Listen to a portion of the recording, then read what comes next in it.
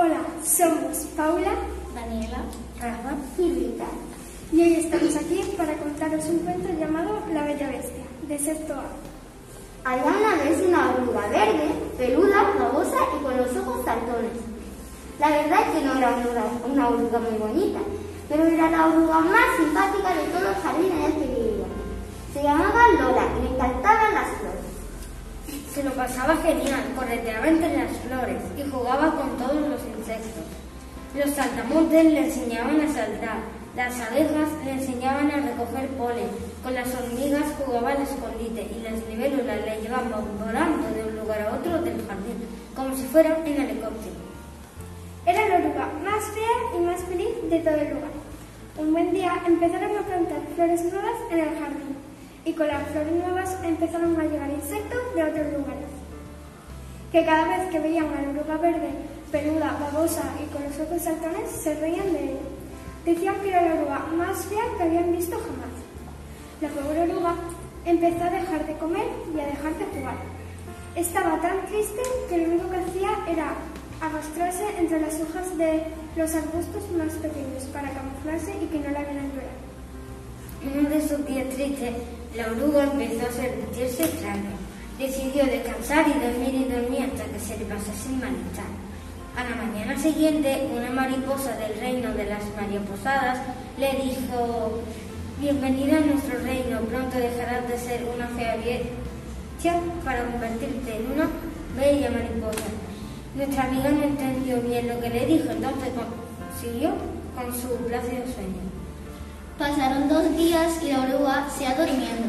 Cuando se despertó, fue a lavarse las botas de rocío que la noche había dejado sobre ella. Cuando se vio reflejada en el agua, se pegó un susto enorme. Casi no se reconocía.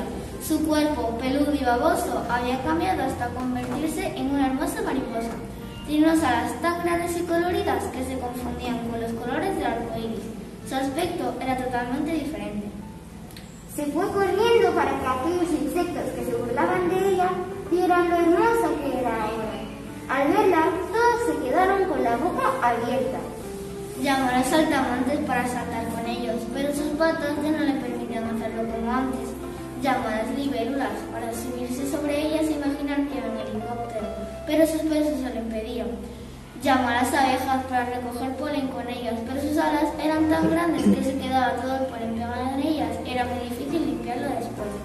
Llamó a las hormigas para jugar al escondite, pero con su tamaño era imposible esconderse en el hormiguero, ya que sus alas solo le permitían volar como una mariposa.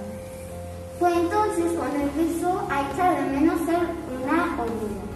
Antes yo no era bella, pero vivía feliz, no me preocupaba, me arrastraba entre las hojas verdes de los árboles y jugaba con mis amigas y amigos sin temor a mancharme o perder mis colores.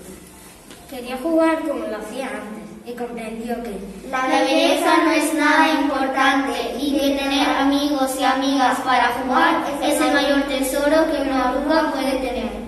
entonces, como era feliz siendo oruga, tenía que aprender a serlo siendo mariposa y disfrutar con sus amistades y viviendo y aceptándose tal y como era. Sí. Adiós. Esperemos que os haya gustado. Hasta pronto. Hasta pronto.